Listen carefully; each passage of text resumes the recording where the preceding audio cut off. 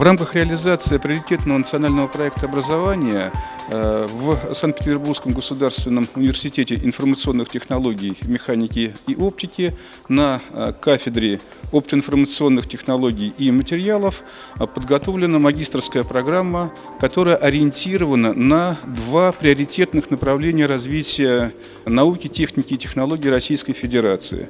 Это прежде всего индустрия наносистем и материалов и информационные информационно-телекоммуникационная система.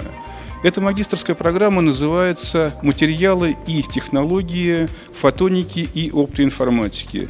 Это современная область науки и техники, которая включает в себя и развитие создания материалов, их характеризация и их использование в оптической связи, в телекоммуникациях. Мы разработали э, интересную, уникальную магистрскую программу, которая включает в себя не только учебно-методические пособия э, в печатном виде, в электронном виде, ну и также уникальные лаборатории, которые позволяют готовить специалистов высшей квалификации. Это конкурентоспособные специалисты, которые востребованы сегодня на рынке труда, на рынке развития фотоники и оптоинформатики.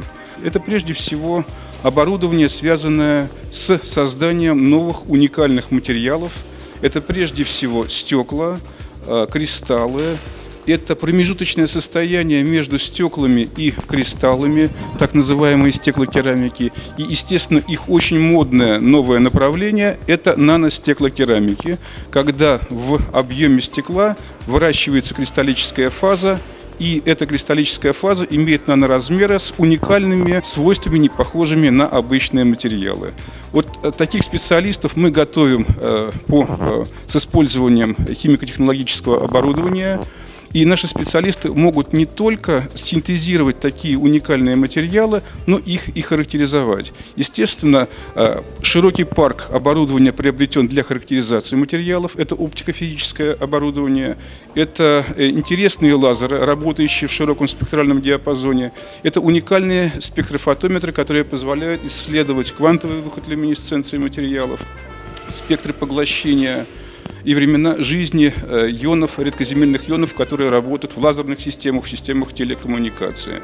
Также мы э, готовим специалистов не только по характеризации материалов, но наши специалисты, то есть студенты, они могут э, создавать элементную базу на основе материалов. То есть у нас целая цепочка заложена в подготовку специалистов. Специалист умеет делать материалы, специалист умеет характеризовать эти материалы, и специалист на базе этих материалов может создавать уникальную элементную базу, как, например, это дифракционные решетки на основе фототерморефрактивных наностеклокерамик, это уникальные лазерные материалы, опять же, на основе э, новых лазерных э, стеклокерамик, и это ряд других магнитооптических материалов, которые используются в системах оптической связи.